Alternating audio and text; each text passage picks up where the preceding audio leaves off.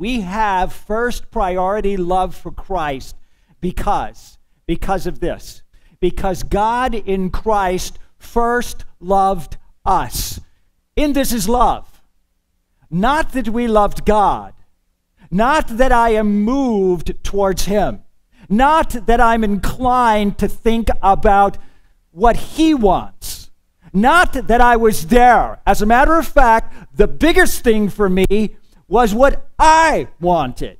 You know, it's very hard for me to think of what you want or what God wants, but you know it's very easy for me to think about what I want. Sometimes I just feel it, like when I'm hungry. I just feel it. You ever feel it? Sometimes we just feel it. And sometimes we just want to push it away because, ah, you just irritate me so badly. And it's not hard for us to figure out what I, who has a hard time in here figure other than going to the restaurant? How many of you have a hard time of figuring out what you want? Anybody here?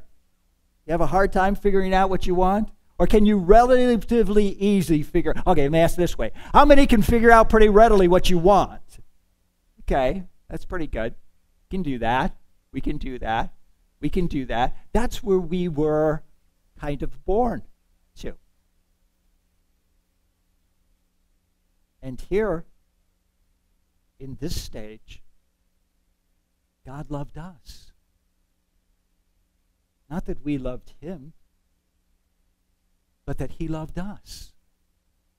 And he sent his son to be the propitiation for our sin.